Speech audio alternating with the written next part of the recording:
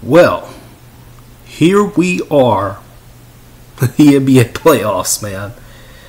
You got a uh, an interesting one this year. It's been it's been an interesting season. I've watched way more games than I did last year. I watched way more games. You know, because things things just turned out the way they turned out, and I mean it's been a surprise this year the way things have turned out. Like I don't think anybody expected some of this stuff. I don't think anybody expected it, but yet here we are. Here we are, and the playoffs are set. Uh, you know, there, there's uh, there, there's a there's a lot going on. You know, when it comes to the first round. So why don't we break down all these matchups first? Uh, we have the play-in, and the play-in is going to be. Uh, first up, it will be the April 12th games between Cleveland and Brooklyn. Um, winner will move on to be the seventh seed to take on the Celtics.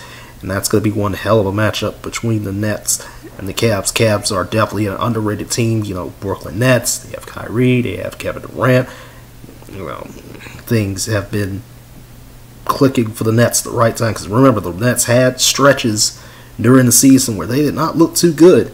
The Cavs been kind of underrated throughout the entire season. You know, uh, and then you have LA, the Clippers, not the Lakers. Lakers missed the playoffs in one of the worst, what, what, definitely one of the more bizarre things I think I've seen in quite some time. LeBron not even going to the playoffs.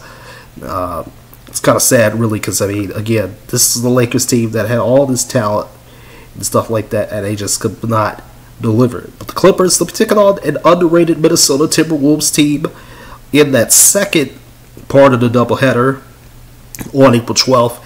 And then April 13th, you got Charlotte and Atlanta. Both teams, you know, I originally thought that Atlanta was going to be like under 500, but yet they turned it around completely. Charlotte also over 500. They've completely turned it around as well. Remember, Charlotte and Atlanta, they are the, you know, they are the 9, 10 seeds. So whoever loses, they ain't going nowhere. They're going to the couch.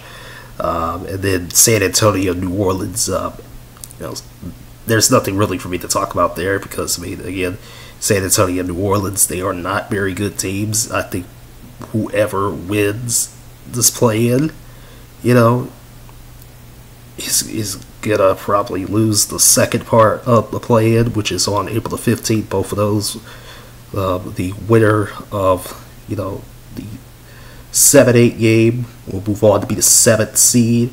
The 8 will take on either the 9 or the 10 in the second part of the play in on April the 15th for both sides of the conference. And, you know, it is what it is there. In all honesty, I'm, I'm just. I, don't know how. I don't know how. I don't know how we, we're getting to this point, you know, but you know, I think I think the West is a little bit weaker this year, definitely.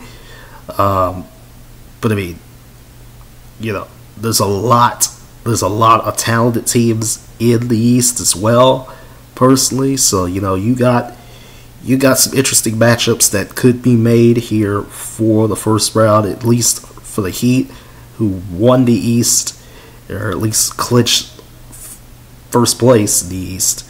Uh, so I mean, whoever will be that eighth seed, whoever will be that eighth seed, it could be the Nets, it could be the Cavs, it could be the Hawks, or even the Hornets. It, it really depends. And the Celtics could take on either the Nets, the Cavs. It depends again on how that works out. You know, the play in. Bucks will take on the Bulls. The 76ers will take on the Raptors. There is a situation involving uh, a player um, for the 76ers and Raptors, and I forgot which which player it was, but um, yeah. Um, and then the out west, the Suns take on the Spurs or Pelicans or Clippers or T Wolves. It really depends. I think it's more. I think it's more either the Clippers or the Timberwolves. I, I might have forgotten. And then you know the Grizzlies. It's either going to be the Clippers or the Timberwolves. And then Warriors, Nuggets, Mavs, Jazz. Gonna be fun. cannot wait for all that. And I think the season in general, again, you know, again, I think you know the whole LeBron and the Lakers just completely messing it up, you know, and buckling it up been one of the most bizarre things I've seen in quite some time because they had it. They they had they had they had something and it just didn't work out. It just doesn't make any sense. But honestly, you know, when it comes when it comes to the playoffs, when it comes to my predictions, I think, you know, I think personally, personally, at the end of the day, I think we're gonna have a finals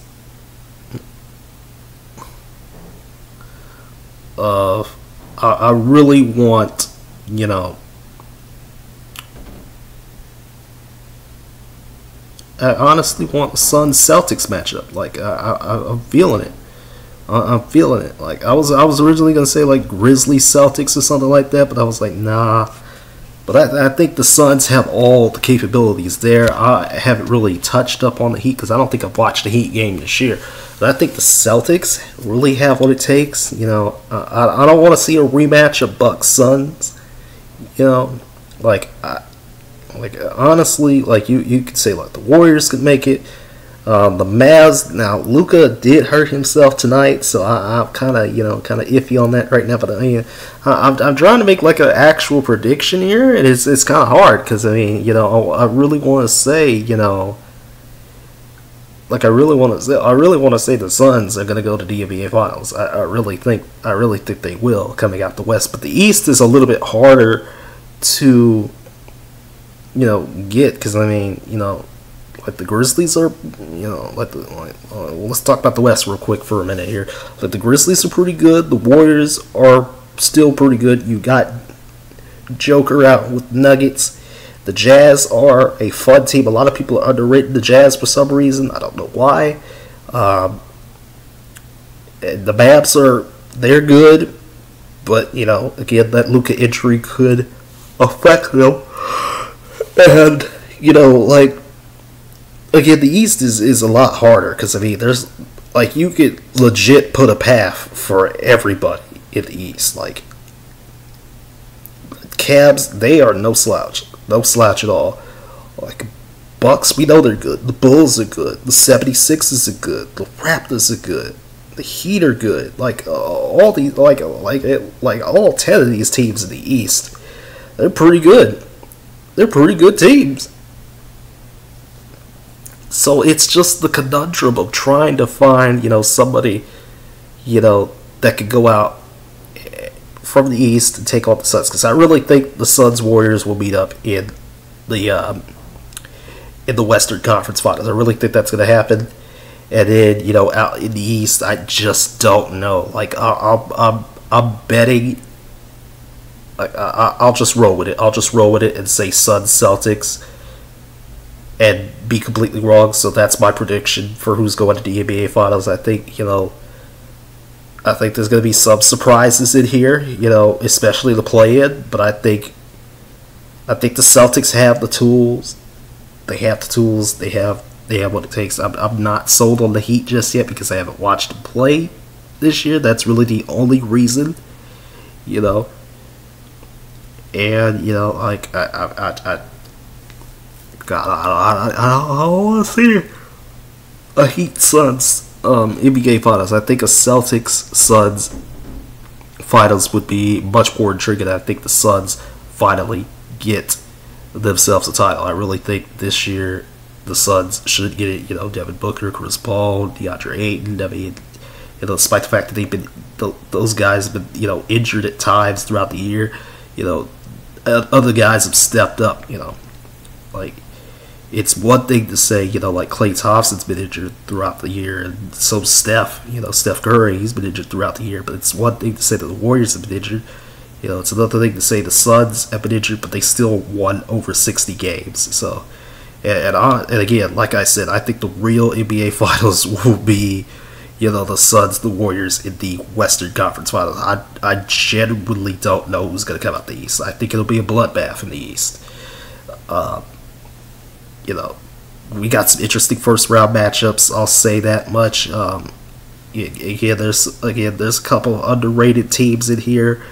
You know, like like the Timberwolves are underrated. They can give the Grizzlies fits or the Suns. It depends, you know, on how things work out. But yeah, and then you know the East again. The East is just going to be a bloodbath. I genu- again, I just don't know. But I'll I'll save all that for the end, and I'll see you all back in May when we talk about the NBA Finals. I, again, this is not too much of a you know bad prediction, but uh, uh, you know, it's probably gonna be terrible. It's probably gonna be outdated by the time the NBA Finals come around, and watch it be you know two completely different teams in the NBA Finals, like it was last year. Because remember last year I picked Brooklyn and the Lakers to make it to the NBA Finals, but I think you know I think this year, I think I'll have a little bit better of a chance. You know, I really think the Suns will come out the West. And again, I'm picking the Celtics to come out the East. So there you go. Enjoy the play in. Enjoy the NBA playoffs. We got a long two months ahead. Cannot wait. I'll see you in late May to talk the NBA Finals.